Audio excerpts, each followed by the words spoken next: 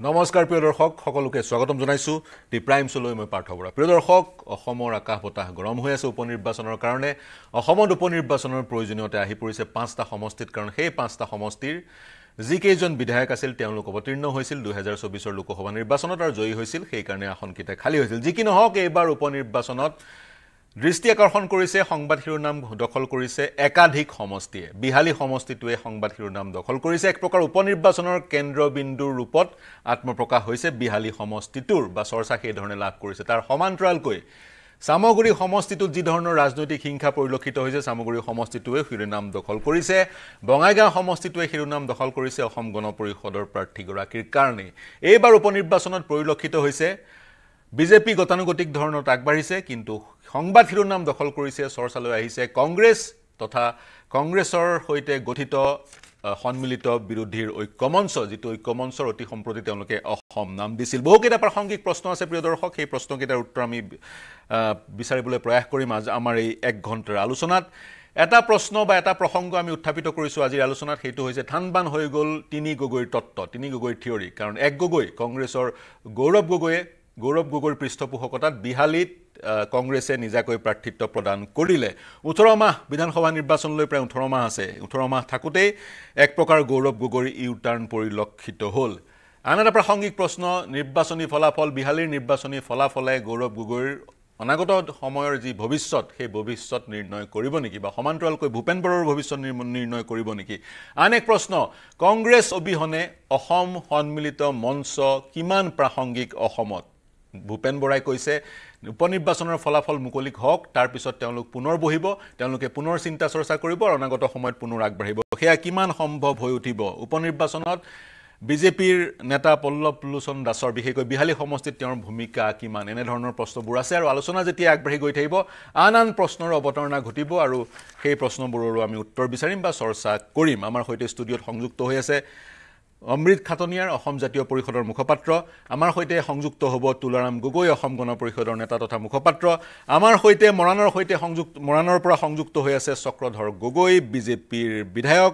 আমাৰ সৈতে নলবাৰীৰ পৰা সংযুক্ত হৈ আছে দিগন্ত বৰ্মন কংগ্ৰেছৰ বিধায়ক। আৰু আমাৰ সৈতে সংযুক্ত হৈ আছে জ্ঞানেন্দ্ৰ বৰ্মন ডক্টৰ জ্ঞানেন্দ্ৰ বৰ্মন ৰাজনৈতিক বিশ্লেষক। তেওঁ গুৱাহাটীৰ পৰা সংযুক্ত হৈ আছে। গতিকে মই কংগ্ৰেছৰ প্ৰতিনিধিগৰাকীৰ পৰা আৰম্ভ কৰোঁ। তেওঁ কি প্ৰতিক্ৰিয়া দিব বিচাৰিব? বৰ্মন ডাঙৰীয়া কি প্ৰতিক্ৰিয়া দিব বিচাৰিব আপুনি? সমগ্ৰ ঘটনাক্ৰমৰ। এগৰাকী বিজেপিৰ বিজেপিৰ নেতা বিজেপি তেওঁ ত্যাগ কৰিলে প্ৰাৰ্থিত্ব নোপোৱাৰ কাৰণে সেই নেতাজনক প্ৰথমতে টিকেট দিয়া হ'ল তাৰপিছত তেওঁক কংগ্ৰেছত যোগদান কৰোৱা হ'ল আৰু তাৰপিছত তেওঁক বিহাৰী সমষ্টিৰ প্ৰাৰ্থিত্ব কংগ্ৰেছত প্ৰথমতে প্ৰাৰ্থিত্ব প্ৰদান কৰা হ'ল তাৰপিছত কংগ্ৰেছত যোগদান কৰোৱা হ'ল। আপোনাৰ প্ৰাথমিক প্ৰতিক্ৰিয়া? প্ৰতিক্ৰিয়া সকলো দলেই প্ৰথমতে যেতিয়া নিৰ্বাচনত অৱহিত হ'বলৈ বিচাৰে সেই দলে বিচাৰে যে তেওঁলোকৰ প্ৰাৰ্থীজন জয়ী হ'ব লাগে। আৰু সেইকাৰণে সকলো দলেই সাধাৰণতে যে জয়ৰ সম্ভাৱনা থকা জয়ৰ সম্ভাৱনা থকা প্ৰাৰ্থীকহে প্ৰাৰ্থিত্ব দিবলৈ বিচাৰে। আৰু সেই কাৰণেই কংগ্ৰেছ দলে আমাৰ জয়ন্ত বৰাৰ জয়ৰ সম্ভাৱনা অধিক তেখেতক প্ৰাৰ্থিত্ব দিছে। ইয়াৰ এইটো নহয় যে ইয়াৰ বাবে বিৰোধীৰ যিটো ঐক্য সেইটো থানবান হৈ যাব এইটো নহয়। আৰু যিটো আগতে তেওঁলোকে কৈছিলে যে আমাৰ বিৰোধীৰ ঐক্যৰ কথাটো আছিলে দুহেজাৰ ছাব্বিছ চনৰ নিৰ্বাচনলৈ। এইটো উপ নিৰ্বাচন এই উপ নিৰ্বাচনটো আপুনি জানিব যে এইটো এই যি ডিলিমিটেশ্যন হৈ গ'ল যি ডিলিমিটেশ্যনৰ দ্বাৰা নতুনকৈ লোকসভাৰ নিৰ্বাচনো হৈ গ'ল সেই সমষ্টিত হোৱা নাই। পূৰ্বৰ যিটো আগৰ যিটো সমষ্টি আছিল সেই সমষ্টিতহে ডিলিমিটেশ্যনটো হৈছে। অহাবাৰ বিহালীৰ পৰিসৰ বৃদ্ধি হ'ব বা কমিব। বঙাইগাঁৱৰো এৰিয়া চেঞ্জ হ'ব চামগুৰিৰো এৰিয়া চেঞ্জ হ'ব। এইবাৰ পুৰণি আগৰ যিসকল বিধায়কে জয়ী হৈছিলে সেই এলেকাটোতে নিৰ্বাচন হৈছে। সন্মিলিত মৰ্চাৰ এই মই সুধিব বিচাৰিছোঁ। মই কৈছোঁ যে আমাৰ হয়। নহয় মই সুধিব বিচাৰিছোঁ ডিলিমিটেশ্যনৰ ডিলিমিটেশ্যনৰ আণ্ডাৰষ্টেণ্ডিং হ'ব। কিন্তু ইয়াতে এটা প্ৰাসংগিক প্ৰশ্ন এই হাউতকৈ মই সুধি লওঁ উত্তৰ প্ৰদেশলৈ মন কৰক। উত্তৰ প্ৰদেশত নটা নটা বিধানসভা সমষ্টিত বাই ইলেকশ্যন হৈছে। কাৰণ একেটাই।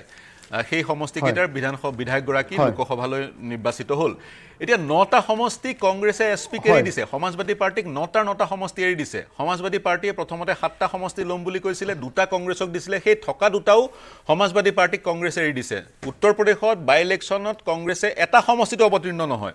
গতিকে তেনে ক্ষেত্ৰত উত্তৰ প্ৰদেশত বেলেগ এটা নীতি অসমত বেলেগ এটা নীতি।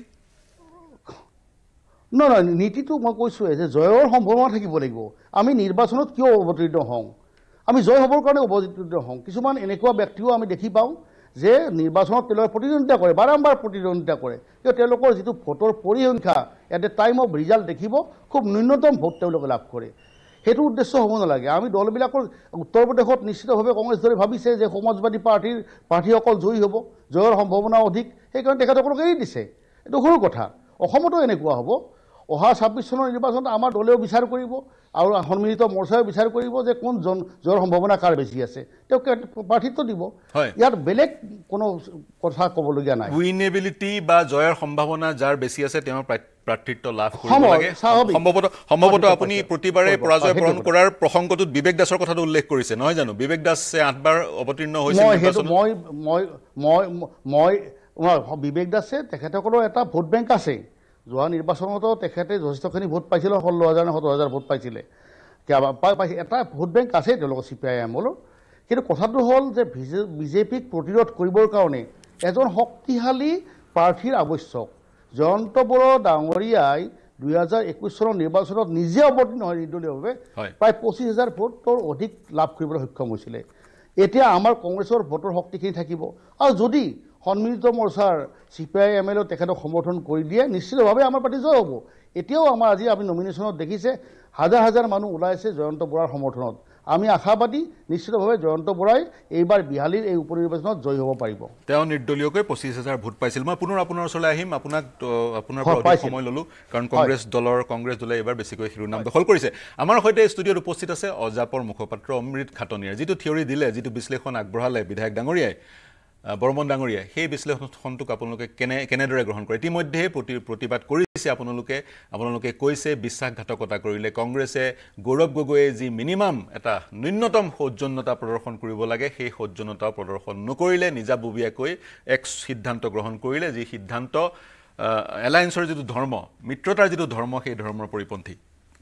কি ক'ব? নিশ্চিতভাৱে এইটো এটা কথা হৈছে যে কি পৰিৱেশত গৈ পেলাই কংগ্ৰেছে লাষ্ট মুমেণ্টত বিহালী সমষ্টিটো নিজৰ কেণ্ডিডেট দিম বুলি কৰিলে।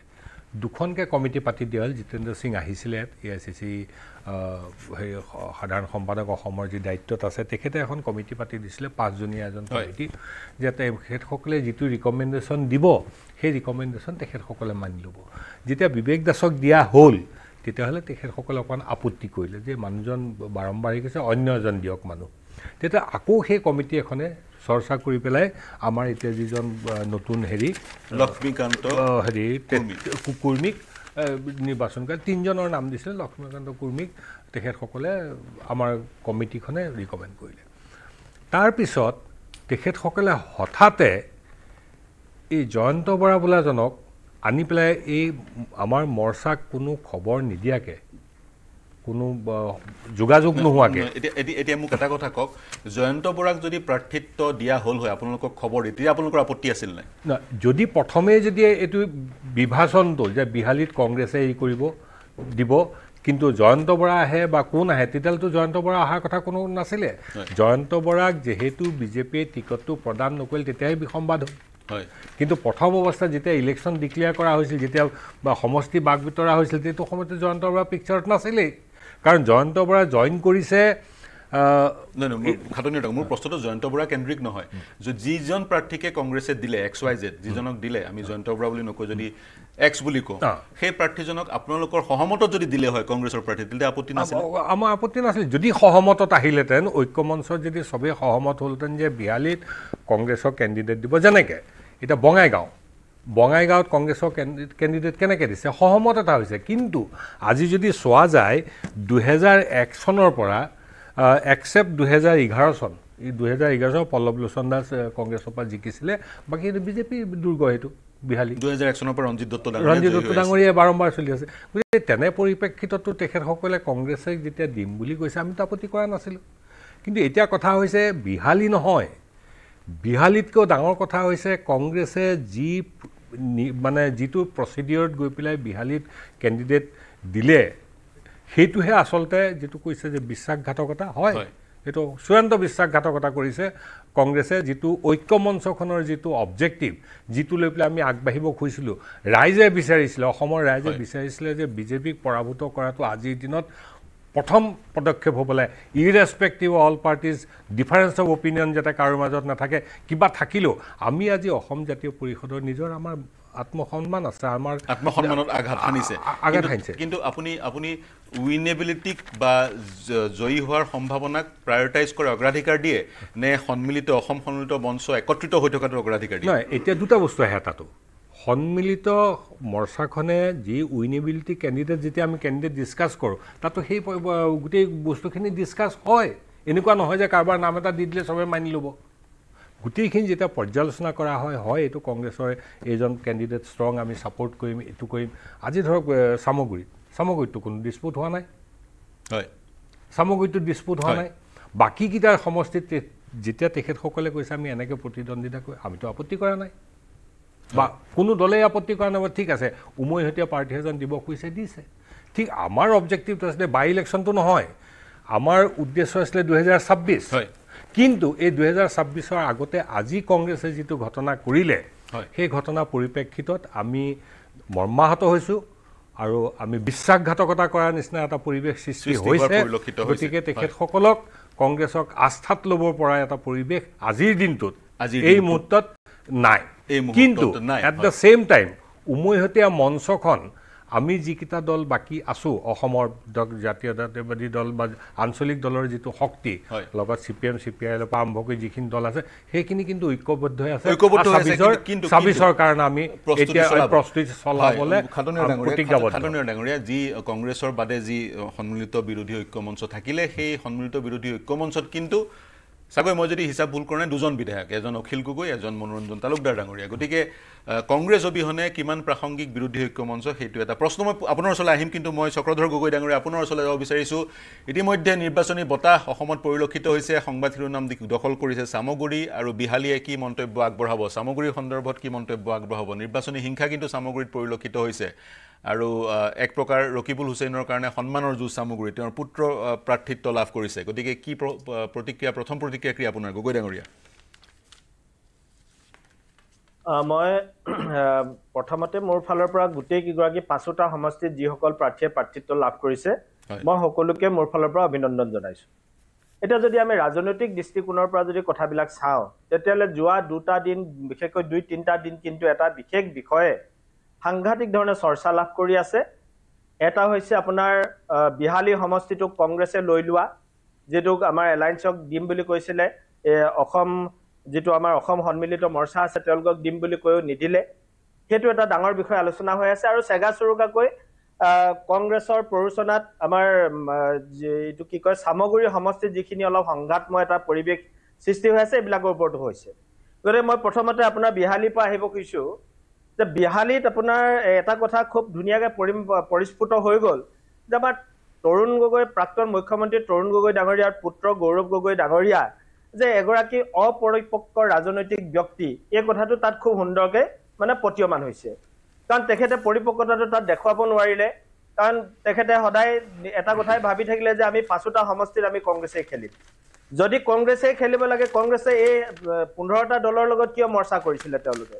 যদিও বা বিষয়টো তেওঁলোকৰ একান্ত ব্যক্তিগত পাঁচ পোন্ধৰটা দলৰ ব্যক্তিগত বিষয় কিন্তু মই এটা ৰাজনৈতিক দৃষ্টিকোণৰ পৰা কথাখিনি চাইছো যে। তেওঁলোকে এলায়েন্সক অন্ততঃ এটা দিব পাৰিব লাগিছিলে যিটো মানে গৌৰৱ গগৈ ডাঙৰীয়াই নিদিলে যাৰ কাৰণে আজি এলায়েন্স আজি দুভাগ হবলৈ বাধ্য হৈ গৈছে কাৰণ এলায়েন্সক এটা সংগঠনক ইমান ধুনীয়াকে কথা বতৰা পাতি দুবাৰ তিনিবাৰ চাৰিবাৰ পৰ্যন্ত তেওঁলোকে আলোচনাত বহিলে আৰু নতুনকৈ বিজেপিৰ পৰা পোনে আহিছিলে মানুহজনে যোগদানে কৰিব নাপালে আৰু এই মানুহজনক টিকেট প্ৰদান কৰি দিলে গতিকে নিশ্চিতভাৱে আজি অখিল গগৈ ডাঙৰীয়া লুৰিণ গগৈ ডাঙৰীয়া আৰু আমাৰ ভূঞা ডাঙৰীয়া যিখিনি কথা এইকেইদিন কৈ আছে এলায়েন্সৰ স্বাৰ্থত কিন্তু তেওঁলোকে সুন্দৰ কথা কৈছে আৰু আচলতে সেইখিনি আমিও তেনেকুৱা যদি কোনোবা এলায়েন্সে আমাক কৰিলে হয় আমাৰো মনৰ কথা সেইখিনিয়ে হলহেঁতেন।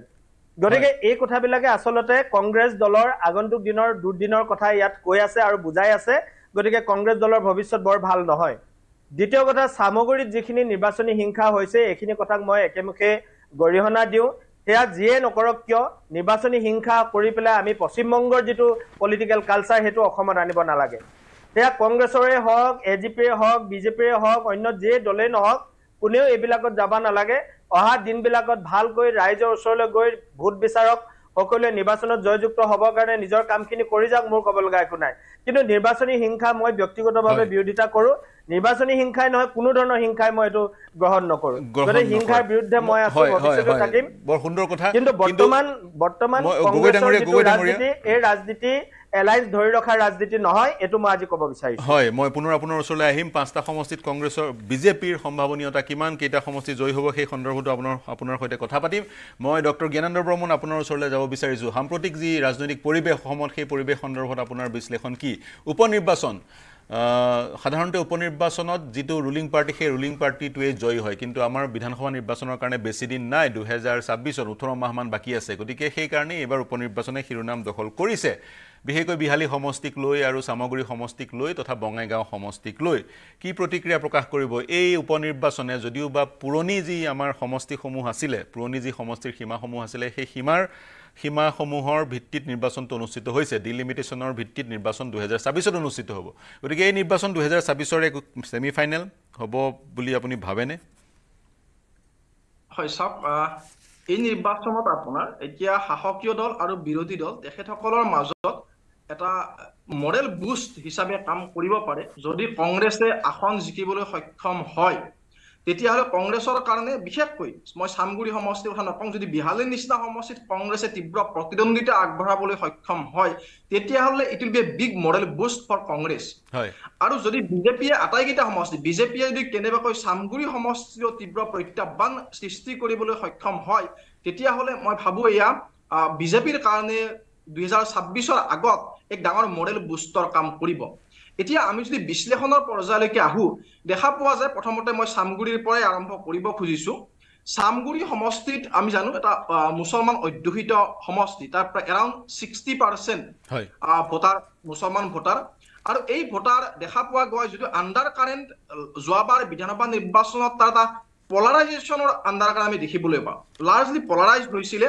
কাৰণ তাত fifty eight percent vote Congress প্ৰাৰ্থী ৰকিবুল হুছেইন ডাঙৰে পাবলৈ সক্ষম হৈছিলে। ছিক্সটি পাৰ্চেণ্ট মুছলিম ভোট ফিফটি এইট পাৰ্চেণ্ট পাইছিলে কংগ্ৰেছ প্ৰাৰ্থীজনে। আৰু বিজেপিৰ প্ৰাৰ্থীজনে পাবলৈ সক্ষম হৈছিলে thirty eight percent around thirty nine percent vote. গতিকে এতিয়া সমীকৰণটো একেই আছে আপোনাৰ লাৰ্জলি মই ভাবো তাত সংখ্যালঘু ভোটাৰৰ এটা অংশ যদি বিজেপিয়ে টানি আনিবলৈ সক্ষম হয় যিটোৰ সম্ভাৱনা কিমান আছে সেইটো এই মুহূৰ্তত ক'ব নোৱাৰি তাত সন্দেহৰ অৱকাশ। বিজেপিৰ প্ৰতি বিজেপিৰ প্ৰতি ডক্টৰ বৰ্মন বিজেপিৰ প্ৰতি সংখ্যা চামগুৰিৰ সংখ্যালঘু ভোটাৰসকল আকৰ্ষিত হোৱাৰ কাৰণ আছেনে মই সেইটো কথাই ক'ব খুজিছো যদি ডেভেলপমেণ্টটোকে যদি আপুনি ইছ্যু হিচাপে লয় আগুৱাই যাব বিচৰা হয় তেতিয়াহ'লে নিশ্চিতভাৱে সংখ্যালঘু ৰাইজে বিজেপিৰ লগত হোৱাৰ অৱকাশ আছে। কিন্তু যোৱাবাৰী লোকসভা নিৰ্বাচনত দেখা পোৱা গ'ল বিজেপিৰ যথেষ্ট সংখ্যক ডেভেলপমেণ্ট প্ৰজেক্টৰ স্বত্তেও সংখ্যালঘু অঞ্চলবিলাকতো লাৰ্জলি কিন্তু সংখ্যালঘু ভোটাৰ কংগ্ৰেছৰ পিনেই ধাৱমান হোৱা আমি দেখিবলৈ পালো। অসমতে নহয় ৰাষ্ট্ৰীয় পৰ্যায়তো সেই একেই দৃশ্য আমি দেখিবলৈ পালো। গতিকে চামগুৰি সমষ্টিত মই ভাবো বিজেপিয়ে বিজেপিৰ যিগৰাকী প্ৰাৰ্থী ডিপ্লৰঞ্জন শৰ্মা পুৰণি নিষ্ঠাবান কাৰ্যকৰ্তা মই জানো ভালদৰে তেওঁক তেওঁ ডেডিকেটেড এজন পাৰ্টীৰ কাৰ্যকৰ্তা। এতিয়া তেওঁ কিমান দূৰ প্ৰত্যাহ্বান আগবঢ়াব পাৰিব?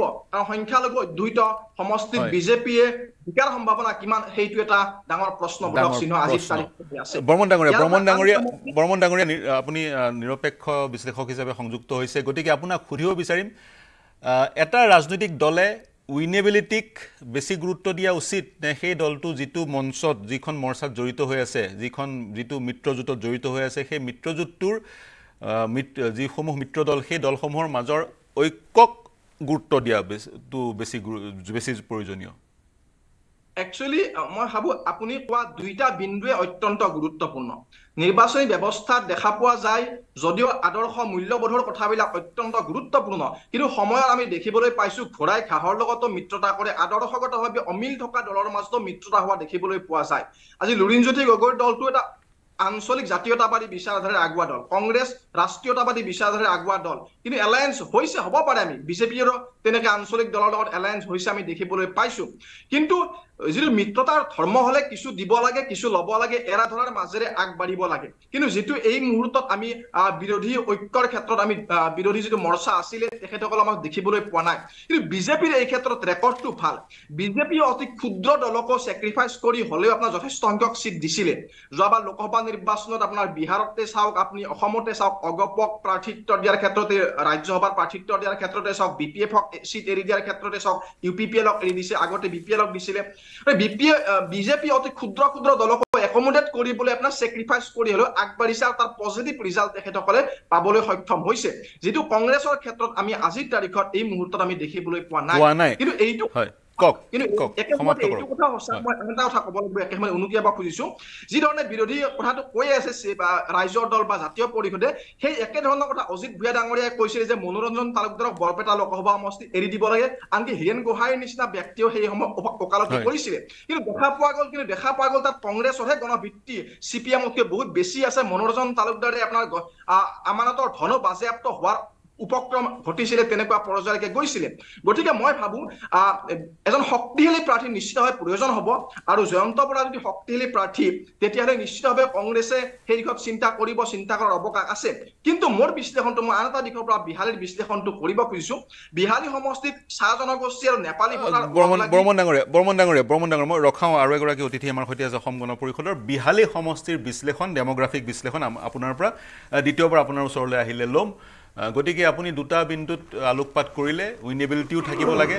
আৰু উদাহৰণটো দিলে মনোৰঞ্জন তালুকদাৰৰ আৰু তাৰ সমান্তৰালকৈ এলায়েন্সৰ যি ধৰ্ম সেই ধৰ্মও ৰাজনৈতিক দলসমূহে ডাঙৰ ডাঙৰ ৰাজনৈতিক দলসমূহে পালন কৰিব লাগে। যিধৰণে বিজেপিয়ে পালন কৰে। উদাহৰণ আছে চিডলি সমষ্টিটো বিজেপিয়ে ইউ পি পি এলক এৰি দিছে। চিডলি সমষ্টিটো ইউ পি পি এলক এৰি দিছে। চিডলি সমষ্টিত বি পি এফৰ প্ৰাৰ্থী Suddharam Basumatary U P P এলৰ প্ৰাৰ্থী নিৰ্মল ব্ৰহ্ম আৰু কংগ্ৰেছৰ প্ৰাৰ্থী সঞ্জীৱ বোৱাৰী অসম গণ পৰিষদৰ তুলাৰাম গগৈ ডাঙৰীয়া আছে। আমাৰ সৈতে সংযুক্ত হৈছে তুলাৰাম গগৈ ডাঙৰীয়া। সামগ্ৰিক যি প্ৰেক্ষাপট প্ৰেক্ষাপটৰ সন্দৰ্ভত আপোনাৰ পৰা মন্তব্য ল'ম। কিন্তু সমান্তৰালকৈ বঙাইগাঁও সমষ্টিটোৱে চৰ্চা লাভ কৰিছে। কাৰণ বঙাইগাঁও সমষ্টিটোত পঁচাশী চনৰ পৰাই বিধায়ক অসম আন্দোলনৰ নেতা ফণীভূষণ চৌধুৰী প্ৰাক্তন অসম চৰকাৰৰ মন্ত্ৰী ফণীভূষণ চৌধুৰী তেওঁৰ পত্নী দীপ্তিময়ী চৌধুৰীক টিকেট দিয়া হৈছিল যাৰ ফলত অগপত খহনীয়া বঙাইগাঁৱত পৰিলক্ষিত হৈছিল। কি মন্তব্য কৰিব? যি সময়ত সমালোচনা কৰি থকা হৈছে ৰকিপুত্ৰ তাঞ্জিলক প্ৰাৰ্থিত্ব দিয়াৰ কাৰণে সেই সময়ত কিন্তু পৰিয়ালবাদৰ এক ৰাজনীতি অগপৰ মাজতো পৰিলক্ষিত হৈছে। ধন্যবাদ পাৰ্থ ডাঙৰীয়া। মই পোনছাতেই আগন্তুক উপ নিৰ্বাচনত প্ৰতিদ্বন্দ্বিতা কৰিবলৈ মনোনয়ন দাখিল কৰা সকলো প্ৰাৰ্থীলৈ আন্তৰিক শুভেচ্ছা জনাইছোঁ আগতীয়াকৈ সকলো দলৰ। বঙাইগাঁও কথাটো আমি মই আগতেও এদিন আপোনালোকৰ শ্ব'ত মোক কোৱা মনত পৰিছে বঙাইগাঁৱত দীপ্তিময় চৌধুৰী আমাৰ অগপৰ দলৰ দীপ্তিময় চৌধুৰী ভাৰতীয় জনতা পাৰ্টীৰ নেতৃত্ব মিত্ৰ গোষ্ঠীৰ তেওঁ প্ৰাৰ্থী। অগপ দলৰ প্ৰাৰ্থী নহয়। হয়। আৰু এন ডি এ প্ৰাৰ্থী। হয়। আৰু তাত যুদ্ধখন হ'ব N D A versus Congress. গতিকে দীপ্তিময় চৌধুৰী হয় মাননীয় সাংসদ প্ৰাক্তন মন্ত্ৰী অগপ দলৰ পিতামহ স্বৰূপ পঞ্চাশী চনৰ পৰা এতিয়ালৈকে আঠবাৰ তেওঁ নিৰ্বাচিত হৈছে তেখেতৰ সহধৰ্মিনী। ব্যক্তিগতভাৱে ফণিদাৰ লগত আমি কথা পাতোঁতে ফণিদাই আমাক কোৱা কথাখিনি এনেকুৱা আছিল। যে দলে কাক টিকেট দিয়ে সেইটোত মই নাই। আৰু দীপ্তিৰ কথাটো মই কোৱাই নাই। কোনে উলিয়াই আছে মই নাজানো। ঠিক আমি যদি এটা কথালৈ মনত পেলাওঁ এতিয়া আপুনি কৈছে চামগুৰিত ৰকিবুল হুছেইনৰ পুত্ৰ তানজিল হুছেইনক দিয়াটো আমি পৰিয়ালবাদ বুলি কওঁ। বঙাইগাঁও সমষ্টিত ফণীভূষণ চৌধুৰী সহধৰ্মিনীক টিকেট দিয়াটো আমি পৰিয়াল বা পৰিয়ালকেন্দ্ৰিক এটা ৰাজনীতি বুলি কিয় নকওঁ? হয়। তাত এটা পাৰ্থক্য আছে পাৰ্থ ডাঙৰীয়া পাৰ্থক্যটো এনেধৰণৰ ফণীভূষণ চৌধুৰীক যেতিয়া আমি ভাৰতীয় জনতা পাৰ্টীৰ নেতৃত্বত থকা মিত্ৰ গোষ্ঠীয়ে আমি সাংসদ মানে লোকসভাৰ নিৰ্বাচনত অৱতীৰ্ণ হ'ব লাগে বুলি টিকেট অফাৰ কৰিছিল প্ৰাৰ্থিত্ব অফাৰ কৰিছিল সেই সময়ত বঙাইগাঁও সমষ্টিৰ সন্মানীয় ভোটাৰ ৰাইজে অসম গণ পৰিষদ দলৰ সকলো শ্ৰেণী কৰ্ম কৰ্মকৰ্তাই ফণীভূষণ চৌধুৰীৰ ঘৰৰ সন্মুখত গৈ প্ৰতিবাদ কৰিছিল আৰু বহুতে আৱেগিকো হৈছিল। আনকি। কৈছিল যে ফণী ভূষণ- ভূষণ চৌধুৰী দিল্লীলৈ যাব নালাগে বঙাইগাঁও সমষ্টিৰ বিধায়ক হৈ থাকিব লাগে আমাক আপোনাক লাগে। গতিকে তেওঁ অৱশেষত ৰাজনৈতিক পৰিস্থিতিত পৰি তেওঁক আমি সাংসদলৈ পঠিয়াবলগীয়া হ'ল। ব্যক্তিগতভাৱে ফণীদাৰ সাংসদ হোৱাৰ ইচ্ছা নাছিল। সেই কথাটো আমাৰ দলীয় মঞ্চতো তেখেতে প্ৰকাশ কৰিছিল। এইবিলাক দলৰ ভিতৰৰ কথা।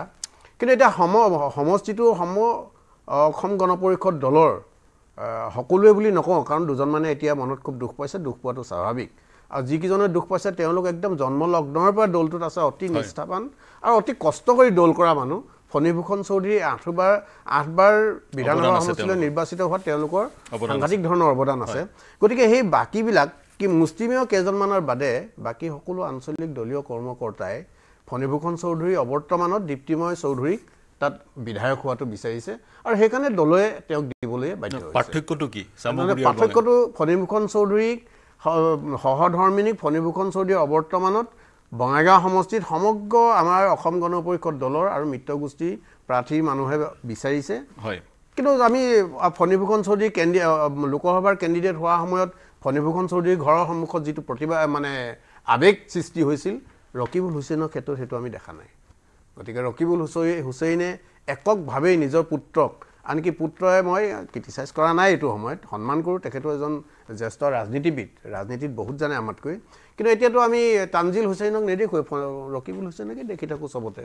গতিকে ৰকিবুল হুছেইনে এককভাৱে যেনেকৈ নিজৰ পুত্ৰক আগবঢ়াই দিছে বঙাইগাঁৱত সেইটো কণ্ডিশ্যন নহয়। হয়। বঙাইগাঁৱত দলীয় কৰ্মকৰ্তাই ফণীভূষণ চৌধুৰী অৱৰ্তমানত দীপ্তিময় চৌধুৰীক বিচাৰিছে। মই দিগন্ত বৰ্মন ডাঙৰীয়া আমাৰ সৈতে সংযুক্ত হৈছে তেওঁৰ পৰা প্ৰতিক্ৰিয়া ল'ম। বৰ্মন ডাঙৰীয়া পৃথক বিশ্লেষণ আগবঢ়ালে অগপৰ মুখপাত্ৰ তুলৰাম গগৈয়ে। দীপ্তিময় চৌধুৰীক বঙাইগাঁৱৰ ৰাইজে বিচাৰিছিল আৰু চামগুৰিত তানজিল হুছেইনক তেওঁৰ পিতৃ বৰ্তমানৰ সাংসদ ধুবুৰী সাংসদ ৰকিবুল হুছেইনে বিচাৰিছে। ইয়াৰ প্ৰতিক্ৰিয়া কি? প্ৰথম কথা দ্বিতীয়তে যি ক্ষোভ পৰিলক্ষিত হৈছে অসমৰ মাজত অসম সন্মিলিত মৰ্চাৰ মাজত সেই ক্ষোভ প্ৰশমিত কৰিবলৈ কংগ্ৰেছে কি কি পদক্ষেপ গ্ৰহণ কৰিব? মই প্ৰথমতে আমাৰ সন্মানীয় বিধায়ক চক্ৰধৰ গগৈ ডাঙৰীয়াই যিটো কথা ক'লে যে কংগ্ৰেছৰ প্ৰতাৰণা দ্বিতীয়তে তেখেতে ক'লে যে গৌৰৱ গগৈৰ অপৰিপক্কতা। হয়। আৰু তৃতীয়তে তেখেতে ক'লে চামগুৰিত কংগ্ৰেছৰ প্ৰৰোচনাত হোৱা হিংসা। এইটোৰ ওপৰত প্ৰতিবাদ কৰিছোঁ। কিয়নো যোৱাকালি মই চামগুৰিৰ সেই ইনচিডেণ্টটোৰ সময়ত ময়ো প্ৰেজেণ্ট আছিলোঁ। আৰু মই প্ৰথমৰ পৰাই লক্ষ্য কৰিছিলোঁ যে বিজেপিৰ কৰ্মীসকলে তেওঁলোকে এটা হিংসা আশ্ৰয় ল'ব বুলি মই নিজে প্ৰতীয়মান হৈছিলোঁ। আৰু মই ভবাটোৱেই হ'ল আল্টিমেটলি তেওঁলোকে আমাৰ মানুহখিনিক বহুত অন্যায় কৰিলে। আনকি সাংবাদিকো হাৰি নগ'লে। এই কথাটো অসমৰ ৰাইজে ইতিমধ্যে গম পাইছে। আৰু গৌৰৱ গগৈৰ যিটো অপৰিপক্কতা বুলি তেখেতে চক্ৰধৰ গগৈ ডাঙৰীয়াই ক'লে সেইটো তেখেতে উচিত যে লোকসভাৰ তেওঁৰ পাৰ যিটো পাৰফৰ্মেঞ্চ গোটেই ভাৰতবৰ্ষৰ মানুহে এইটো তেওঁলোকে শলাগিছে। যোৱাকালি মই এটা বাইট চাইছিলোঁ মাননীয় আমাৰ অগপৰ বৃন্দাবন গোস্বামী ডাঙৰীয়াৰ। তেখেতে বাইটত কৈছিলে যে গৌৰৱ গগৈৰ মাজত আমি হেম বৰুৱাক দেখা পাইছোঁ বুলি কৈছিলে। যোৱাকালি মই পাইছোঁ হেম বৰুৱাক দেখা পোৱা বুলি কৈছে। যে গগৈ ডাঙৰীয়াই যিখিনি কথা ক'লে সেইটো মই প্ৰতিবাদ কৰিছোঁ আৰু তেখেতে আজি লোকসভাত যিখিনি কৰিছে গোটেই ভাৰতবৰ্ষৰ মানুহে তেখেতক স্বীকৃতি দিছে। আজি তেখেত deputy leader opposition of the Lok Sabha. আৰু যিটো কংগ্ৰেছৰ মানে প্ৰতাৰণা বুলি কৈছে এইটো নহয় মই বাৰম্বাৰ এই কথাটো কৈছোঁ যে ৰাজনীতিৰ ক্ষেত্ৰত আমি নিৰ্বাচনত এইকাৰণে অপজিত হওঁ ৰাজনীতি সংখ্যাৰ খেল সংখ্যা থাকিলেহে চৰকাৰ গঠন কৰিব তেতিয়াহে দলে কাম কৰিব পাৰিব। আৰু আমাৰ কথা হ'ল এইটো যে কংগ্ৰেছ দলে পাঁচখনকৈ কমিটি কৰি দিছিলে সেই কমিটি এম পি কেইজনমান প্ৰদ্যুৎ বৰদলৈ ডাঙৰীয়া আছিলে গৌৰৱ গগৈ ডাঙৰীয়া আছিলে আৰু আমাৰ আৰু এজন সাংসদ তেখেতো আছিলে আৰু এজন প্ৰাক্তন মন্ত্ৰী আছিলে আমাৰ জাকিৰ সিকদাৰ আছিলে তেওঁলোকে প্ৰতিবেদন দিছে। আৰু তাতে এই কথাটো বাৰম্বাৰ কৈছে যে জয়ন্ত বৰা ডাঙৰীয়া জয়ৰ সম্ভাৱনা অধিক। সেইকাৰণে দিয়া হৈছে। গতিকে এই ক্ষেত্ৰত মই তেখেতে এই প্ৰতাৰণা কথাটো কৈছে এইটো ভাল হোৱা নাই মই ইয়াৰ প্ৰতিবাদ কৰিছোঁ। হয়। তৃতীয়তে আমাৰ এইমাত্ৰ আমাৰ এ জি বিৰ প্ৰতিনিধিজনে যিটো কথা ক'লে যে ফণীভূষণ চৌধুৰী ডাঙৰীয়াক মই যথেষ্ট সন্মান কৰোঁ পিছে। তেখেত বহুত পুৰণা এজন নিষ্ঠাৱান ৰাজনীতিবিদ। কিন্তু তেখেতৰ যেতিয়া পত্নীয়ে নিৰ্বাচন খেলিব সেইটো পৰিয়ালকেন্দ্ৰিক নহয়। কিন্তু গৌৰৱ গগৈ যেতিয়া প্ৰতিদ্বন্দ্বিতা কৰিব যেতিয়া ৰকিবুল হুছেইনৰ পুত্ৰ তানজিল হুছেইনে প্ৰতিবাদ সেইটো পৰিয়ালবাদ হ'ব। এইটো কেনেকুৱা কথা? এনেকুৱা উদাহৰণ যথেষ্ট আছে। ৰাজনাথ সিঙৰ পুত্ৰই ৰাজনীতিত আছে বসুন্ধৰা ৰাজে সিন্ধিয়া আছে প্ৰমোদ মহাজনৰ জীয় এই ৰাজনীতিত আছে। এনেকুৱা অলেখ উদাহৰণ আছে ভাৰতৰ ৰাজনীতিত। কিন্তু তেওঁলোকে বাৰম্বাৰ কিয় কংগ্ৰেছৰ কথাটো আনি আনিছে তেওঁলোকৰ কথাখিনি নকয়। মই এটা কথা আপোনালোকক কৈছোঁ যে এইবাৰৰ নিৰ্বাচনত আপুনি দেখিব আমাৰ কংগ্ৰেছ দলে মই তিনিটা মই দুটা ঠাইত গৈছোঁ এতিয়ালৈ মই বিহালী যোৱা নাই যাম। হয়। কিন্তু মই যোৱাকালি চামগুৰিত গৈছোঁ হাণ্ড্ৰেড পাৰ্চেণ্ট আমাৰ কংগ্ৰেছৰ প্ৰাৰ্থী জয়ী হ'ব তেওঁলোকে যিমানে যি নকৰক তাতে কংগ্ৰেছ প্ৰাৰ্থী আমাৰ তানজিল হুছেইন জয়ী হ'ব। আৰু আজি মই বঙাইগাঁৱতো গৈছিলোঁ তাত কেইবা হাজাৰ মানুহে আমাৰ ব্ৰজেনজিৎ সিনহা ডাঙৰীয়া এজন নিষ্ঠাবান এটা সময়ত আচুৰ কৰ্মী আছিলে। পৰৱৰ্তী সময়ত তেওঁ অসম পুলিচ সেৱাত আহিলে আই জি পি হৈছে। চাকৰি জীৱনত তেওঁৰ খুব ভাল নাম কোনো তেওঁৰ দুৰ্নাম নাই।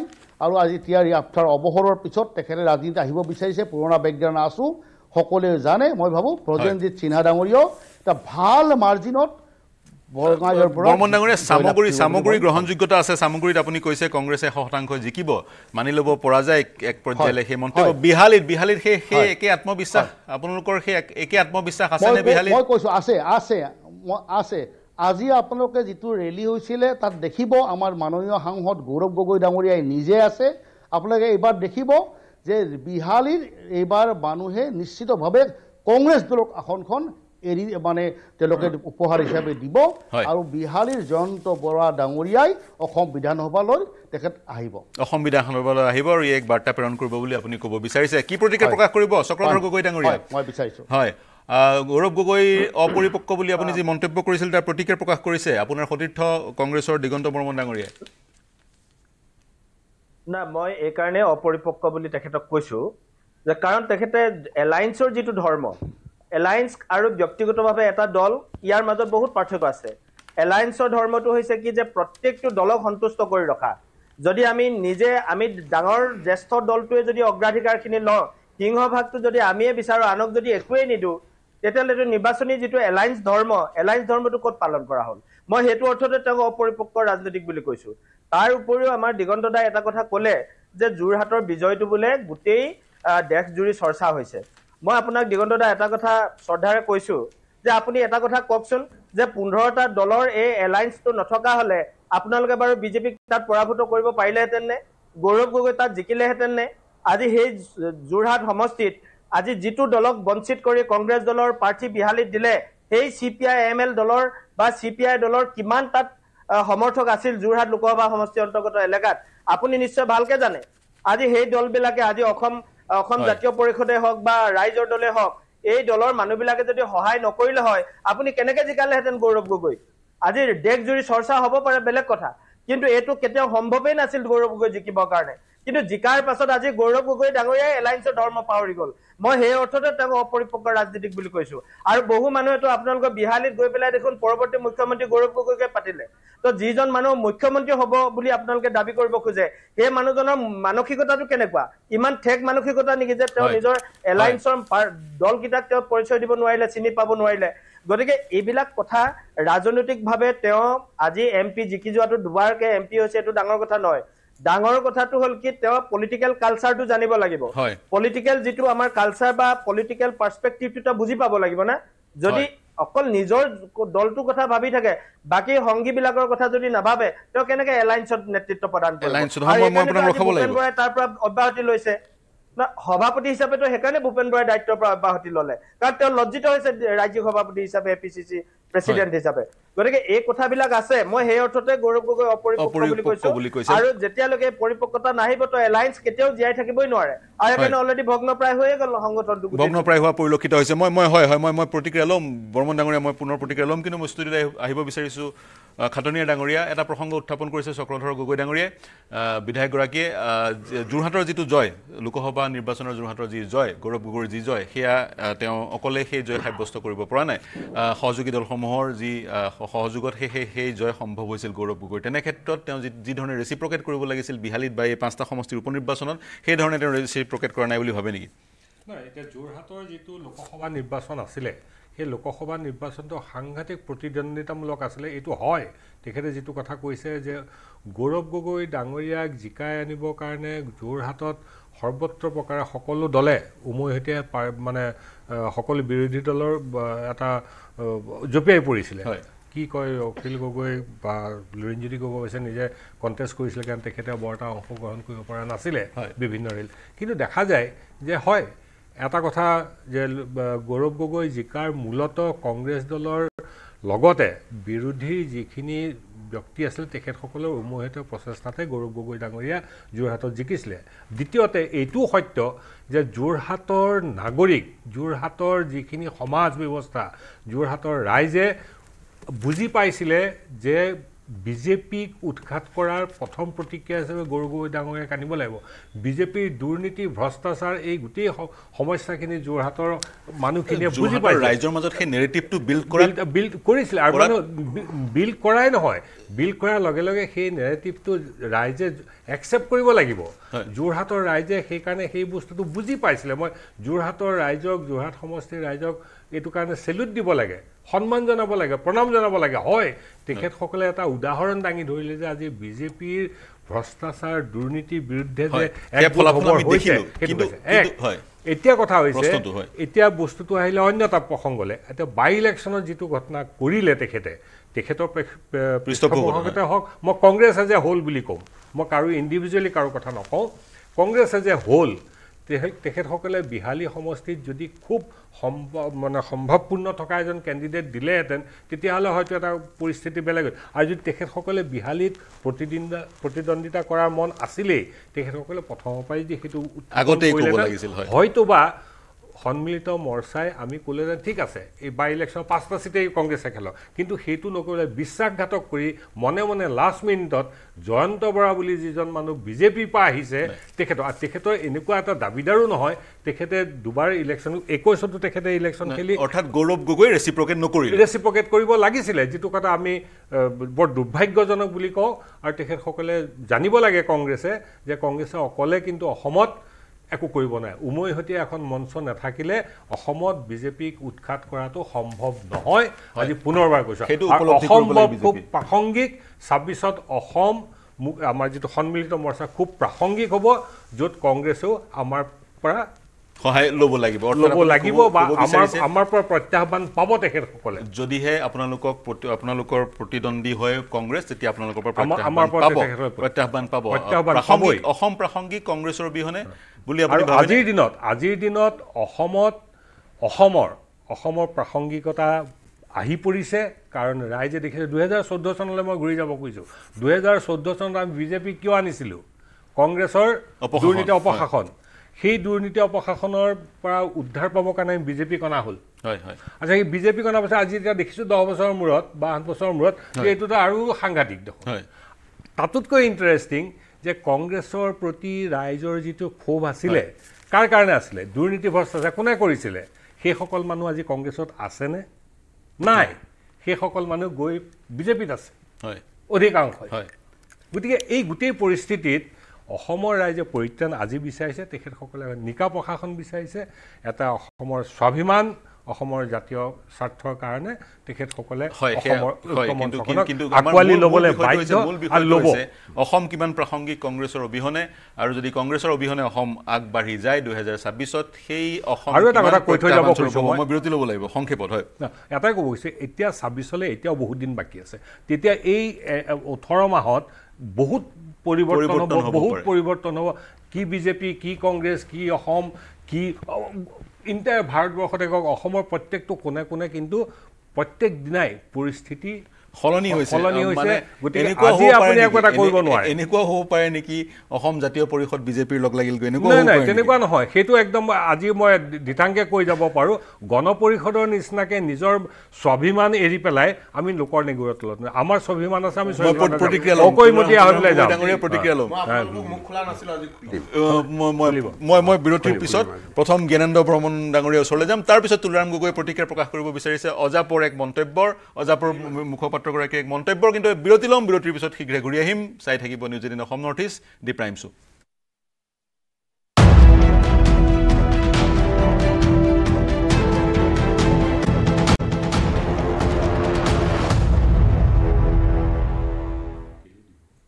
নমস্কাৰ প্ৰিয় দৰ্শক। বিৰতিৰ পিছত পুনৰ সকলোকে স্বাগতম জনাইছোঁ। অন্তিমটো খণ্ডত উপনীত হৈছোঁ। চৈধ্য মিনিট সময় আছে। সকলোৰে পৰা প্ৰতিক্ৰিয়া ল'ম। মই প্ৰথমতেই অগপৰ তুলাৰাম গগৈ ডাঙৰীয়াৰ ওচৰলৈ গৈছোঁ। তাৰপিছত বৰ্মন ডাঙৰীয়াৰ ওচৰলৈ যাম। গগৈ ডাঙৰীয়া প্ৰতিক্ৰিয়া প্ৰকাশ কৰিব বিচাৰিছিল। আপুনি অজাপৰ মুখপাত্ৰ খাটনীয়া ডাঙৰীয়া এক বক্তব্যত খাটনীয়া ডাঙৰীয়াই স্পষ্ট কৰি দিছে অসম গণ অসম জাতীয় পৰিষদৰ কেতিয়াও বিজেপিৰ সৈতে মিত্ৰতা নহয়।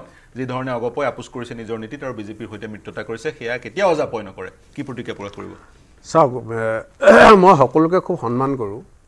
আৰু মিত্ৰতা মানে আপোচ নহয়। আৰু মিত্ৰতা মানে বিলীন হৈ যোৱা নহয়। ঠিক যেনেকৈ অসম জাতীয় পৰিষদে কংগ্ৰেছৰ লগত মিত্ৰতা কৰিছে এইটো আমি আপোচ কৰা বুলি কেতিয়াও কোৱা নাই। মিত্ৰতা কৰিছে মিত্ৰতা হ'ব পাৰে। এতিয়া মই নাম নকওঁ অজিত ভূঞাকৈ দাদা খুব সন্মান কৰোঁ। তেখেতৰতো তেখেতৰ দলটোৰ নামটো মই পাহৰিছোঁ এই মুহূৰ্তত। তেখেতৰ দলত দ্বিতীয়জন ব্যক্তি আমি দেখাই নাই। সমগ্ৰ অসমত তেওঁ এটা অফিচ আছে নেকি আমি দেখা নাই। তেওঁ এটা দল। এইটো কেনেকুৱা দল আমি নাজানো। হয়। গতিকে তেওঁ মিত্ৰতা কৰিছে কংগ্ৰেছৰ লগত। সেইটো আমি আপোচ বুলি কোৱা নাই নহয় আমিতো কেতিয়াও কোৱা নাই অজিত ভূঞা অকল এজন মানুহ বুলি কৈছোঁ নেকি। নাই কোৱা। অসম গণ পৰিষদ দলে আমি মই এই প্ৰেক্ষাপটত ভাবোঁ অসমৰ আটাইতকৈ অভিজ্ঞ ৰাজনৈতিক আঞ্চলিক ৰাজনৈতিক দল অসম গণ পৰিষদ দল। আমি আন্দোলনৰ মাজেদি আহিছোঁ। আমাৰ অসমবাসী ৰাইজে কৰা আন্দোলনটো ছাত্ৰ সন্থাই নেতৃত্ব দিছিলে। সেই ছাত্ৰ সন্থাৰ পৰা আমি জন্ম হৈছোঁ। আমি আঠশ ষাঠিজন কংগ্ৰেছে গুলিয়াই গুলিয়াই মৰা শ্বহীদৰ আমি কেঁচাতে গছকি আমি শাসন পাতলৈ আহিছোঁ। হয় আমি অসমৰ ৰাইজে বিচৰা ধৰণে কাম কৰিব নোৱাৰিলোঁ। দুবাৰকৈ আমি শাসন আছোঁ শাসনত আছোঁ মিত্ৰতা কৰিছোঁ ভাৰতীয় জনতা পাৰ্টীৰ লগত আগতেও মিত্ৰতা কৰিছোঁ ভাৰতীয় জনতা পাৰ্টী অটল বিহাৰী বাজপেয়ী প্ৰয়াত প্ৰধানমন্ত্ৰী অসম আন্দোলনত যিজনে সহায় কৰিছিল দিহা পৰামৰ্শ দিছিল আমি সেই দলটোৰ লগত মিত্ৰতা কৰিছোঁ মিত্ৰতা মানে আমি আপোচ কৰা নাই। কিন্তু আমি কেতিয়াও কোৱা নাই অসম জাতীয় পৰিষদৰ দৰে আমি কোনো ৰাষ্ট্ৰীয় ৰাজনৈতিক দলৰ অক্সিজেন লৈ জীয়াই নাথাকোঁ।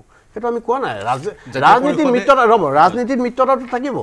গতিকে এতিয়া মই তেখেতলোকৰ মিত্ৰতা ভাগিছে মেলিছে এইবিলাকত মই চক্ৰধৰ গগৈ ডাঙৰ সন্মানীয় বিধায়ক তেখেতে কৈছে মোৰ ক'বলৈ ইচ্ছা নাই। কিন্তু মিত্ৰতা ভাগিছে নেভাগিছে এইবিলাক তেওঁলোকৰ কথাতে আমি কেতিয়াও কোৱা নাই। কিন্তু অসম গণ পৰিষদ দলে নিজৰ স্থিতিত অটল থাকি আমি মিত্ৰতাত আছোঁ। মিত্ৰতা আমি কেতিয়াও আমাৰ আমাৰ আদৰ্শ আমি ভেটি নীতি আদৰ্শ আমি ত্যাগ কৰা নাই। আমি কেতিয়াও আমি ৰাইজৰ দলক কোৱা নাই। এতিয়া এতিয়া আপুনি অসমত আঞ্চলিক ৰাজনৈতিক দলৰ জন্মৰ ইতিহাসটো কি? অসমত আঞ্চলিক ৰাজনৈতিক দলৰ জন্ম ইতিহাসটো হৈছে কংগ্ৰেছৰ অপশাসন ভ্ৰষ্টাচাৰ কংগ্ৰেছে অসমৰ মানুহক কৰা অত্যাচাৰৰ প্ৰতিবাদত আঞ্চলিক ৰাজনৈতিক দল জন্ম হয়। আৰু সেই আঞ্চলিক ৰাজনৈতিক দল জন্ম হৈ কংগ্ৰেছৰ লগত মিত্ৰতা কৰে। আমিতো তেওঁলোকক কোৱা নাই। আৰে আমি ভাৰতীয় জনতা পাৰ্টীৰ লগত আগতেও মিত্ৰতাত আছিলোঁ। মিত্ৰতা ভাগিছেও মিত্ৰতাত আকৌ হৈছোঁ। গতিকে আমাৰ আমাৰ অভিজ্ঞতা আছে এইবিলাকত। আমি মিত্ৰ দুবাৰ শাসন চলাইছোঁ। আমি ভাৰতীয় জনতা পাৰ্টীৰ লগত আগতে মিত্ৰতা কৰিছোঁ মিত্ৰতা ভাঙিছোঁ আকৌ মিত্ৰতা কৰি অসম শাসন কৰিছোঁ মিত্ৰতা আকৌ ভাঙিছোঁ আকৌ গৈ মিত্ৰতাত আছোঁ। আমাৰ অভিজ্ঞতা আছে বহুত। মিত্ৰতাৰ সম্পৰ্কত আমাক শিকাবলগীয়া নাই, কিন্তু আমি। কেতিয়াও কোৱা নাই ৰাষ্ট্ৰীয় ৰাজনৈতিক দলৰ অক্সিজেন লৈ আমি কেতিয়াও জীয়াই নাথাকোঁ। অসম জাতীয় পৰিষদে কংগ্ৰেছৰ অক্সিজেন লৈছে। কি? আপুনি সেই সেই অভিযোগ? তেওঁলোকে কৈছিলে তেওঁলোকে তেওঁলোকৰ দলটো যেতিয়া জন্ম হৈছিলে এইটো তেওঁলোকৰ দলটো দলটোৰ মত কি। অসম অসম- প্ৰথম সদায় আৰু চিৰদিন। ঠিক আছে বঢ়িয়া। তোমালোকেতো গৈ কংগ্ৰেছৰ লগত মিত্ৰতা কৰি আমি কেতিয়াও কোৱা নাই। কংগ্ৰেছৰ লগত মিত্ৰতা আমি কেতিয়া কৰিলো? সেইটোৱে কথা হৈছে? মিত্ৰতাৰ কথা হৈছে যে। মিত্ৰতা মিত্ৰতা এটা আঞ্চলিক মঞ্চটোত এটা দল ওলাই গৈছে মঞ্চটোত হেৰি হৈছে মিত্ৰতা বুলি কয়। মিত্ৰতা আৰু লগত আমাৰ- আমি মিত্ৰতা ত্যাগ কৰা নাছিলে। নাই নহয়, নহয়, আমি নহয়, আমাৰ মিত্ৰতাটো নাই আমাৰ কাৰো লগত আমি। বুজা পৰা এটা। বুজা পৰা পিছত আছিলে নাই, নাই, কংগ্ৰেছৰ সৈতে বুজা পৰা এতিয়া কথা হৈছে কি। কংগ্ৰেছৰ লগত আমাৰ যিটো আমাৰ নিজৰ যিটো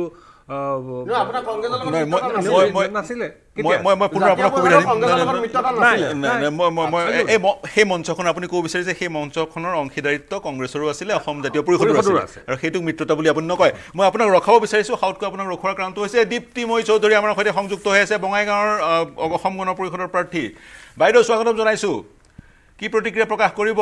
বিভিন্ন সময়ত আপোনাৰ প্ৰাৰ্থিত্বক লৈ চৰ্চা লাভ কৰিছে আপোনাৰ প্ৰাৰ্থিত্বই। আপোনাৰ প্ৰাৰ্থিত্বক পৰিয়ালবাদ বুলিও একাংশই ক'ব খুজিছে। ইয়াৰ কি প্ৰতিক্ৰিয়া প্ৰকাশ কৰিব বিচাৰিব? হয়। মই অসম গণ পৰিষদ দলৰ এজন কৰ্মী হিচাপে প্ৰাৰ্থিত্বটো পাইছোঁ। হয়। অসম গণ পৰিষদৰ এগৰাকী কৰ্মী হিচাপে প্ৰাৰ্থিত্ব পাইছে। নিৰ্বাচনী প্ৰচাৰ কেনে কেনেধৰণে চলি। আছে কিমান। আত্মবিশ্বাসী পৰিয়াল কেন্দ্ৰিকৰ কথাটো অহা নাই। পৰিয়াল কেন্দ্ৰিকৰ কথাটো। অহা নাই। নিৰ্বাচনী প্ৰচাৰ কেনে চলিছে কিমান আত্মবিশ্বাসী আপুনি? বাইদেউ? নিৰ্বাচনী প্ৰচাৰ আমাৰ খুবেই ভাল। ৰাইজৰ যথেষ্ট সঁহাৰি আছে। হয়। হয়। ৰাইজ ৰাইজৰ যথেষ্ট সঁহাৰি আছে। আপোনাৰ যথেষ্ট সঁহাৰি আছে হয় হয়। আপোনাৰ যিগৰাকী প্ৰতিদ্বন্দ্বী যিগৰাকী প্ৰতিদ্বন্দ্বী কংগ্ৰেছৰ ব্ৰজেনজিৎ হয়। সিংহ প্ৰাক্তন এগৰাকী আই পি এছ বিষয়া আই পি এছৰ পিছত হয়। আই পি এছ হৈছিলে তেওঁৰ পৰা কিমান প্ৰত্যাহ্বান হয়, লাভ হয়, কৰিব বুলি হয়। ভাবে? আমি আমি অসম গণ পৰিষদ দল আমি যিহেতু মিত্ৰজোঁটৰ প্ৰাৰ্থী মই মিত্ৰজোঁটৰ প্ৰাৰ্থী হিচাপে আমি আমাৰ জয় সুনিশ্চিত বুলি ভাবোঁ। হয়। আৰু অগপত যি খহনীয়া পৰিলক্ষিত হৈছিল আপোনাৰ প্ৰাৰ্থিত্বক লৈ একাংশই অগপ ত্যাগ কৰিছিলে সেই অগপ ত্যাগ কৰা লোকসকলৰ প্ৰতি আপোনাৰ কি প্ৰতিক্ৰিয়া কি আহ্বান তেওঁলোকক? তেওঁলোকৰ প্ৰতি আমাৰ বিশেষ একো প্ৰতিক্ৰিয়া নাই। আমি আমাৰ দলৰে তেওঁলোক আছিল ভুল বুজাবুজিৰ কাৰণে হয়তো তেওঁলোকে তেনেকুৱা এটা কৰিছে। কিন্তু আমাৰ পৰা আহ্বান আছে তেওঁলোকে যাতে আকৌ উভতি আহে। আমি এনেকুৱা এটা আহ্বান লৈ আহিছিলোঁ। কিন্তু তেওঁলোকে নিজৰ আৰু প্ৰতিদ্বন্দ্বিতা কৰিবৰ কাৰণে মনোনয়ন পত্ৰ দাখিল কৰিছে তেওঁলোকে। তেওঁলোকে মনোনয়ন পত্ৰ প্ৰতিদ্বন্দ্বিতাৰ কাৰণে মনোনয়ন পত্ৰ দাখিল কৰিছে। হয়। আপুনি শেষৰটো বাৰ্তা কি দিব বিচাৰিব? আমাৰ যোগেদি বঙাইগাঁও সমষ্টিটোৱে স্বাভাৱিকতে চৰ্চা লাভ কৰিছে কাৰণ ফণীভূষণ চৌধুৰী এইটো সমষ্টি ঊনৈছশ পঁচাশী চনৰ পৰা। সেই সমষ্টিটো তেওঁৰ লগত আছিলে আৰু উপ নিৰ্বাচনৰ প্ৰয়োজনীয়তা আহিল তেওঁ লোকসভালৈ নিৰ্বাচিত হোৱাৰ কাৰণে আৰু তেওঁৰ স্থানত আপুনি তেওঁৰ সহধৰ্মিনী এইবাৰ তেওঁ আপুনি প্ৰাৰ্থিত্ব লাভ। কৰিছে। গতিকে শেষৰটো বাৰ্তা কি দিব বিচাৰিব? হয়।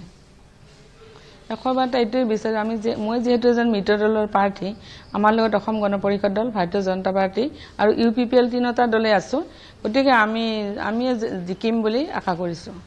আপোনালোকে জিকিম বুলি আশা কৰিছে। বাইদেউ পুনৰ সংযুক্ত হোৱাৰ অৱকাশ পালে সংযুক্ত হ'ম। আপোনাক ধন্যবাদ জ্ঞাপন কৰিছোঁ। আৰু এই সুযোগতে শুভেচ্ছা জ্ঞাপন কৰিছোঁ। আপুনি প্ৰাৰ্থিত্ব লাভ কৰিছে অসম গণ পৰিষদৰ বঙাইগাঁৱৰ পৰা। পুনৰ আলোচনাৰ মাজলৈ আহিছোঁ মোৰ হাতত সময় বেছি নাই। মই জ্ঞানেন্দ্ৰ বৰ্মন আপোনাৰ ওচৰলৈ যাওঁ। বৰ্মন ডাঙৰীয়া আপুনি এক ডেম'গ্ৰাফিক বিশ্লেষণ আগবঢ়াব বিচাৰিছিল বিহালীৰ। হয় একচুৱেলি গোটেইকেইটা সমষ্টিৰে বিশ্লেষণ লৈ মই সাজু হৈ আছিলো কিন্তু সময়টো নিশ্চয় নাই মই বুজি পাইছো। হয়। কিন্তু মই ভাবো বিহাৰী সমষ্টিৰ যদি গোটেই জনগোষ্ঠীয় বিন্যাসবোৰ চোৱা যায় দেখা পোৱা যায় যে বিজেপি এটা এডভান্টেজিয়াছ পজিশ্যনত থকা যেন ধাৰণা হয়। তাত চাহ জনগোষ্ঠীৰ ভোটাৰ টুৱেণ্টি নাইন পাৰ্চেণ্ট আছে নেপালী ভোটাৰ আছে টুৱেণ্টি পাৰ্চেণ্ট এই দুইটা নেপালী ভোটাৰ আৰু চাহ জনগোষ্ঠী ভোটাৰ আজিৰ তাৰিখত এই মুহূৰ্তত অভাৰৱেলমিংলি বিজেপিৰ লগত থকা যেন ধাৰণা হয়। কাৰণ ভূমিৰ অধিকাৰ স্কুল স্থাপন অৰুণোদয় চাহ বনোৱাৰ মজুৰি বৃদ্ধি এই ইছ্যুবিলাক লৈ পেলাই বিজেপিয়ে চাহ জনগোষ্ঠীৰ মাজত আস্থা আদায় কৰিবলৈ সক্ষম হৈছে বহুত পৰিমাণে। নেপালী ভোটখিনি ভোটাৰখিনিও এতিয়া বিজেপিৰ প্ৰতি এটা আস্থা অটুট থকা যেন ধাৰণা হৈছে। শেহতীয়াভাৱে বিজেপিয়ে আহ, জনগোষ্ঠীৰ কাৰণে বিশেষ কিছুমান কাৰ্যসূচী ঘোষণা কৰিছে প্ৰগ্ৰেম ঘোষণা কৰিছে। তাত আমাৰ জেনেৰেল কাষ্ট ভোটাৰ আছে ছেভেণ্টিন পাৰ্চেণ্ট এই তিনিটা কম্বিনেশ্যন লগ লগাই দিলে তাত ভোটাৰ হয়গে ছিক্সটি ছেভেন পাৰ্চেণ্ট অৰ্থাৎ উইনিং মাৰ্জিনটো অনায়াসে হৈ যায়। মই কোৱা নাই যে এই গোটেইখিনি ভোটাৰ বিজেপি পাব কিন্তু এই ভোটাৰ চাহ জনগোষ্ঠী নেপালী জেনেৰেল কাষ্ট ভোটাৰ তাৰ লগত আপোনাৰ কোচ ৰাজবংশী ভোটাৰ প্ৰায় এইট থাউজেণ্ড আছে বড়ো ভোটাৰ আছে প্ৰায় এইট থাউজেণ্ড এই ভোটখিনি লগ লাগিলে এই ভোটাৰখিনি লাৰ্জ ছেকশ্যন দ্বাৰা আজিৰ তাৰিখত বিজেপিৰ লগত থকা যেন ধাৰণা হয় আৰু সেই দিশৰ পৰা এডভান্টেজিয়াছ পজিশ্যনত বিজেপি থকা যেন কিন্তু কিন্তু। ব্ৰহ্মণ ডাঙৰীয়া ব্ৰহ্মণ ডাঙৰীয়া কংগ্ৰেছক অত্যুৎসাহী ৰূপত দেখা পোৱা গৈছে কাৰণ যোৱা লোকসভা নিৰ্বাচনত প্ৰেমলাল গঞ্জুৱে বিহালী বিহালী অঞ্চলৰ পৰা অস্বাভাৱিকভাৱে অধিক ভোট পাইছিলে গতিকে তেনে ক্ষেত্ৰত তেওঁৰ এটা তেওঁৰ এটা এডভান্টেজেছ পজিশ্যনো আছিল তেওঁ নিজে গোৰ্খা সম্প্ৰদায় আছিল। তেনে ক্ষেত্ৰত হয়। মই সেই বিন্দুটোলৈকে আহিব খুজিছো। মই ক'ব খুজিছো হয় গৌৰৱ গগৈয়ে এটা যথেষ্ট সক্ৰিয়তা দেখুৱাইছে আৰু গৌৰৱ য়াং এক টেলেণ্টেড লিডাৰ আৰু গৌৰৱ গগৈয়ে যদি বিহালী সমষ্টিত তেওঁ নেতৃত্বত যি এটা দেখিবলৈ পোৱা গৈছে কুচকাৱাজ চলিছে যদি বিহালী সমষ্টিত কংগ্ৰেছে ইমান প্ৰত্যাহ্বান স্বত্তেও যদি প্ৰবল প্ৰত্যাহ্বান বিজেপিৰ সন্মুখত থিয় কৰাবলৈ সক্ষম হয়। তেতিয়াহ'লে আপুনি নিশ্চিত থাকিব যে ছাব্বিছত কংগ্ৰেছৰ শক্তিশালী উত্থান অতি সহজ হৈ পৰিব। উৎসাহ এটা ডাঙৰ ব্যৱধান ব্যৱধান ব্যৱধান ব্যৱধান কম হ'লেও গৌৰৱ গগৈৰ কাৰণে এডভান্টেজেছ পজিশ্যন হ'ব নেকি? যদিও বা পৰাজিত হয় ব্যৱধান কম হ'লেও।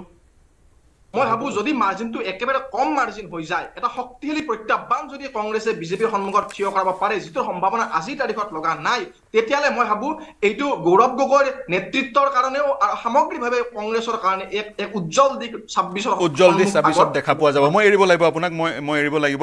অতি গুৰুত্বপূৰ্ণ আপুনি মন্তব্য কৰিছে বিজেপি যদি বিহালীত জয়ী হয় আৰু চামগুৰিত যদি কংগ্ৰেছ জয়ী হয় তেতিয়া গতানুগতিক খুব বেছি চৰ্চাৰ বিষয় নাথাকিব। কিন্তু যদি উল্টা হৈ যায় বিজেপি যদি চামগুৰিত জয়ী হয় কংগ্ৰেছ যদি বিহালীত জয়ী হয় তেতিয়া কিন্তু সংবাদ শিৰোনাম দখল কৰিব। দুগৰাকী বিধায়ক তেওঁলোকৰ ওচৰলৈ যাম মই। দিগন্ত বৰ্মন ডাঙৰীয়া আৰু গগৈ ডাঙৰীয়া তেওঁলোকৰ ওচৰলৈ যাম। মোৰ সময় কম শেষৰটো মন্তব্য। দিগন্ত বৰ্মন ডাঙৰীয়াৰ পৰা আৰম্ভ কৰিছোঁ। আপুনি সকলোৰে মন্তব্যবোৰ শুনিলে শেষৰটো কি প্ৰতিক্ৰিয়া প্ৰকাশ কৰিব বিচাৰিব? মই এটা কথাই কৈছোঁ আমাৰ এ জি পিৰ প্ৰতিনিধিগৰাকীয়ে সন্মানীয় যে যিটো তেখেতসকলে ক'লে যে এ জে পিয়ে কংগ্ৰেছৰ লগত লগ হৈছে। যদি এ জি পিয়ে বিজেপিৰ লগত ৰাষ্ট্ৰীয় দলৰ লগত লগ হৈ পেলাই নিৰ্বাচন খেলিব পাৰে অসম জাতীয় পৰিষদে কংগ্ৰেছৰ লগত লগ হৈ কিয় ইলেকশ্যন খেলিব নোৱাৰে? নোৱাৰে বুলি কোৱা নাই দাদা ভাল হৈছে। দুয়োটাই ৰাষ্ট্ৰীয় দল। নোৱাৰে বুলি কোৱা নাই ভাল হৈছে। নহয়? মই সেই কথাটো কৈছোঁ দেই। নাই নাই মই অঁ অঁ মই সেই কথা কৈছোঁ। খালি মই এটা কথা আপোনালোকক কৈছোঁ যে এইটো ছাব্বিছৰ নিৰ্বাচনৰ কাৰণে আমাৰ এইটো ছেমি ফাইনেল বুলি ধৰি ল'লেও এটা কথা কওঁ যে নিশ্চিতভাৱে অসম সন্মিলিত মৰ্চাৰ আটাইকেইটা দল C P I M L হওক ৰাইজৰ দল হওক জাতীয় পৰিষদ আৰু অন্যান্য দলসমূহৰ লগত। আমাৰ এটা বুজাবুজিৰ কাৰণে আমি চেষ্টা কৰিম আৰু নিশ্চিতভাৱে হ'ব। আমি আজি যদিও আমাৰ প্ৰাৰ্থিত্ব আমি নিজাকৈ দিছোঁ এইটো নহয় যে আমি তেখেতসকলক এলাগী কৰিছোঁ বা তেখেতসকলক আমি আস্থাত লোৱা নাই এইটো নহয়। নিশ্চিতভাৱে ছাব্বিছলৈ আমাৰ কংগ্ৰেছ দলৰ দুৱাৰ খোলা আছে। আমি এটা সহমতত ছাব্বিছ চনৰ নিৰ্বাচনটো বিজেপিক পৰাভূত কৰাৰ স্বাৰ্থত আমি একেলগে নিৰ্বাচনত অৱতীৰ্ণ হ'ম। নিৰ্বাচনত অৱতীৰ্ণ হ'ব কিন্তু সেই যিটো ট্ৰাষ্ট ফেক্টৰ সেইটো কেনেকৈ ঘূৰি আহিব সেয়া লক্ষণীয় হ'ব। গগৈ ডাঙৰীয়া শেষৰটো মন্তব্য? নাই মইতো এই আমাৰ খাটনীয়া ডাঙৰীয়া এটা কথা কৈছিলে যে তেখেতে বিজেপিক উৎখাত কৰিবৰ কাৰণে সন্মিলিত মৰ্চা গঠন হৈছিলে বুলি তেখেতে প্ৰকাশ কৰিলে। আৰু যোৰহাটত গোটেই সন্মিলিত মৰ্চাই লগ লাগি বিজেপিক উৎখাত কৰিবৰ কাৰণে তেওঁলোকে লগ লাগি কাম কৰা বুলি তেখেতে কৈছে। কিন্তু আজি তেখেতৰ দুখ লাগিছে নে নাই যে তেখেতলোকক মৰ্চাৰ ভিতৰৰ পৰাই যে উৎখাত কৰি দিলে। কংগ্ৰেছ দলটোৱে যিটো দলক মাতৃ পিতৃ হিচাপে লৈ পেলাই তেখেতলোকে মৰ্চা গঠন কৰিছিলে সেই কংগ্ৰেছ দলে আজি তেওঁলোকক উৎখাত কৰি দিলে মৰ্চাৰ পৰা। আজি পাঁচটাৰ ভিতৰত এটা চিট নিদিলে সেই কথাটোতো তেখেতে মনত ৰাখক। গতিকে আপোনালোকে বিজেপিক উৎখাত কৰা এজেণ্ডাটো বাদ দিয়ক। সেইটো এজেণ্ডা আপোনালোকৰ কাহানিও পূৰণ নহয়গৈ। কাৰণ লুৰিণজ্যোতি গগৈ ডাঙৰীয়াক আপুনি মই মানে ক্ষমা প্ৰাৰ্থনাৰে কৈছো তেখেত এজন ডাঙৰ মানে ছাত্ৰ সন্থাৰ লিডাৰ আছিলে। আজি যি ছাত্ৰ সন্থাৰ আঠশ ছাপন্নজন শ্বহীদ কংগ্ৰেছৰ দিনত গুলিয়াই গুলিয়াই মৃত্যু হৈছিল মানুহ মৰিছিল। আজি সেই কংগ্ৰেছ দলৰ লগত যেতিয়াই লুৰিণজ্যোতি গগৈয়ে মানে হাত মিলাইলে যেতিয়াই এলায়েন্স কৰিবলৈ গুচি গ'ল তেতিয়াই অসমৰ মানুহে তবত মানিলে আৰু তেতিয়াই অসমৰ মানুহে তেওঁৰ ৰাজনীতিৰ কুটিলতাটোক বুজি পালে। আৰু ঠিক অখিল গগৈ ডাঙৰীয়া যিজন মানুহে সদায় জাতি মাতি ভেটি হয়। কথা কৈ থাকে সেই গোটেই দহটা বছৰ তৰুণ গগৈ ডাঙৰীয়াৰ দিনত দহ পোন্ধৰ বছৰ তৰুণ গগৈ কেৱল গালি পাৰি পাৰি তেওঁ অসমত ৰাজনৈতিক নেতা হ'ল। আৰু সেই মানুহজনে অৱশেষত গৈ কংগ্ৰেছত যেতিয়া শৰণ ল'বলৈ গ'ল অসমৰ মানুহে আৰু বুজি না বুজিবলৈ বাকী নাথাকিল। যে ৰাইজৰ দল আৰু এ জে পি দলে আচলতে বিচাৰে কি হয়, মই সংক্ষেপত প্ৰতিক্ৰিয়াৰ কাৰণে সংক্ষেপত ছেকেণ্ডত ক'ব প্ৰতিক্ৰিয়া। খুজিছো এটাই কথা কৈছো ছেকেণ্ডত প্ৰতিক্ৰিয়া। বিধায়কগৰাকীক বিনম্ৰভাৱে ক'ব অসম জাতীয়? পৰিষদৰ লুৰিণজ্যোতি গগৈয়ে কংগ্ৰেছৰ ওচৰত কোনো চাৰেণ্ডাৰ কৰা নাই এটা? আমাৰ নিজৰ নিজৰ যিটো নীতি আদৰ্শ আমি অটুট ৰাখিছো এটা নীতি আদৰ্শ আমি অটুট ৰাখিছো এক আৰু দুই নম্বৰ কথা হৈছে আপোনালোকে? বিজেপি চৰকাৰখনে কালি অসমখন ধ্বংস কৰা নাইনে? তাৰ উত্তৰ দিব পাৰিব আপুনি আজি গা বলবৎ কৰাৰ। পিছত অসমখন ধ্বংস হোৱা এটা চিট তাৰ উত্তৰটো আপুনি। দিয়ক আপুনি বিজেপি দলে যে কাখন? প্ৰৱৰ্তন কৰি অসমত যে? থলুৱা মানুহক যে বিপদত পেলাব? আগন্তুক দিনত সেইটো কথা আপুনি ক'ব নোৱাৰে সেইটো উত্তৰটো। দিয়ক মোক কোনো ৰা- সেইটো উত্তৰটো আপুনি আগতে দি লওক নাই, নাই, মই মই মই সমাপ্ত। কৰিব লাগিব গগৈ ডাঙৰীয়া সমাপ্ত কৰিব লাগিব সেই প্ৰশ্ন থাকি যাব অনাগত সময়ত পুনৰ আলোচনা অৱকাশ পালে আলোচনা কৰিম কিন্তু সদৌ শেষত বিহালী সমষ্টিৰ এক আমোদজনক বিশেষত্ব আমাৰ হাতত আমাৰ আমাৰ পৰিলক্ষিত হৈছিল আপৰ অনন্ত বিজেপিৰ দিগন্ত কংগ্ৰেছৰ জয়ন্ত আৰু চি পি আই এম এলৰ লক্ষীকান্ত। গতিকে সেই হাঁহি কোনে মাৰে সেয়া গম পোৱা যাব নিৰ্বা উপনিৰ্বাচনৰ ফলাফলত। মোৰ সৈতে সংযুক্ত হোৱাৰ কাৰণে জ্ঞানেন্দ্ৰ বৰ্মন ডাঙৰীয়া দিগন্ত বৰ্মন ডাঙৰীয়া চক্ৰধৰ গগৈ ডাঙৰীয়া তুলাৰাম গগৈ ডাঙৰীয়া আৰু অমৃত খাটনীয়া ডাঙৰীয়া। সকলোকে মই ধন্যবাদ জ্ঞাপন কৰিছোঁ আৰু দীপ্তিময় চৌধুৰীকো ধন্যবাদ জ্ঞাপন কৰিছোঁ। এই চিন্তাৰ সমন্বয় অনুষ্ঠান সামৰিছোঁ। প্ৰিয় দৰ্শক শুভৰাত্ৰি।